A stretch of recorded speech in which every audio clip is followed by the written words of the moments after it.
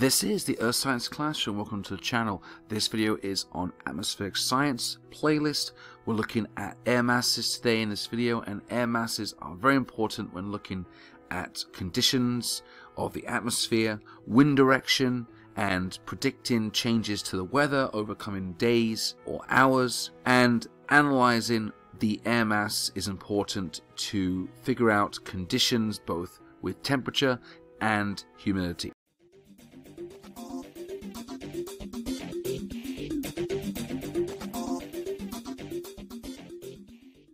So the definition of an air mass is a uniform unit of air that originates from a certain geographic location on Earth and it has certain or specific characteristics relating to both water vapor and humidity, so how much water is in the air, water vapor is in the air, which would dictate again the water source or the heat for evaporation, and obviously temperature, which relates to then evaporation. So it's going to be a hot air temperature or a cold air temperature. So this unit of air has certain characteristics based on where it comes from.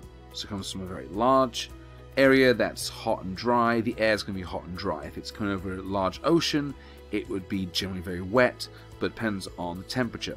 So, for example, if it comes off the Sahara or Sahara Desert, this air is going to be very dry, generally, and very warm.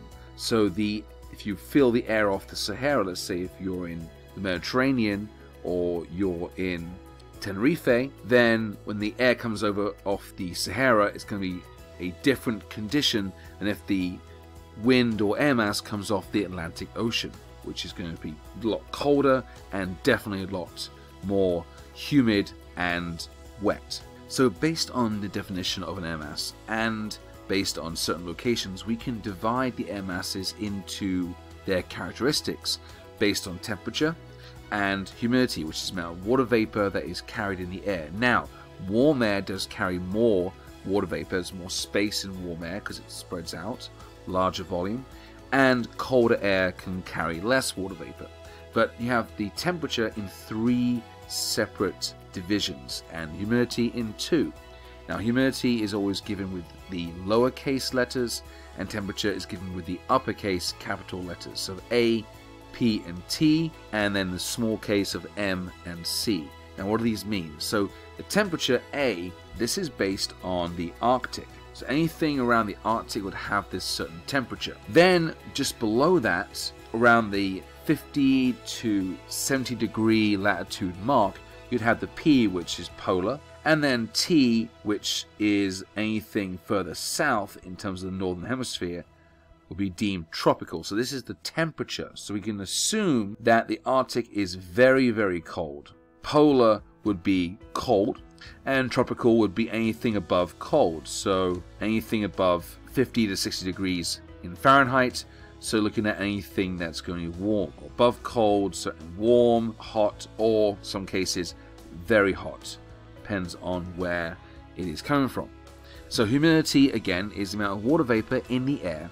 Now this relates to the potential for uh, obviously low pressure causing clouds and weather to form compared to high pressure which is going to be air that's descending that can't form weather or clouds even with water vapor inside the air. High pressure it can't form clouds.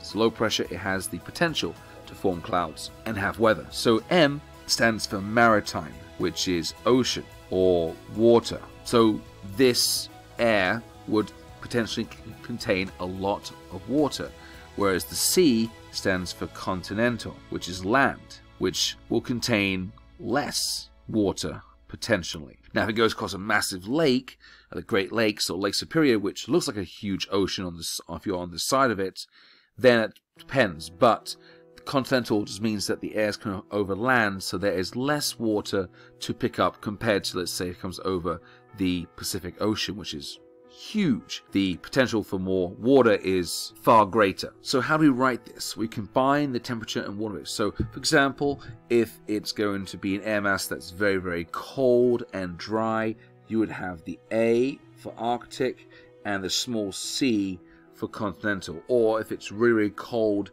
but over water like Hudson Bay, perhaps it would be A for Arctic, being very, very cold, and the small m for maritime, which would dictate a lot of water. So you'd have very, very cold. If you saw this air mass, these letters, you know, it's very cold and it would contain either low humidity with the C or it would contain high humidity with the M. So we can tell where the air mass is coming from and what the conditions could be in terms of weather and if it's high or low pressure based on where the air mass is coming from so you can build that knowledge of the atmospheric conditions. So for the exercising class, we have given you the air masses worksheet, which has a similar diagram to what you're seeing here. This North American geographic map. This one's in color. You see both the Atlantic Ocean. Over here on the right, we have the left was Pacific. You see little islands of Hawaii right there. You have Alaska in the top left with Russia as well near it in the Bering Strait. We have the Canadian archipelago, all these islands up here in Canada and Greenland. So we know that North Pole's up here. We know the equator is down below the map, okay, around Brazil, actually where this, this line is. So we can put the equator down there. We have the North Pole, which is 90 degrees north up there. So we know that this will be the mid latitudes you know, around 60 will be here and 30 will be around here. So we can relate this to our maps and we can see also that if it comes off the ocean, we're going to have that big maritime air mass. It comes off the continents, we're going to have the sea, which is very dry, so wet and dry. And we can see also, based on latitude, that we have our temperature. We have our Arctic air from the North Pole in this area we have our polar air from the high latitudes above 60 and we have our tropical air that's coming from the tropics and up into the mid latitudes through the Hadley and Ferrel cells. The polar maritime air mass would be up around Alaska or off the coast of Canada and it would look like this with a direction of wind going from the west to the east. This is westerlies. And we're looking at these air masses as if they're coming into the United States and how if the air comes into the United States or comes towards the United States from a certain area around it, what would be the air characteristics. This is the Earth Science Classroom. Thank you for watching. I hope you enjoyed the content. Uh, check out more videos on our channel and don't forget to subscribe. Thank you again.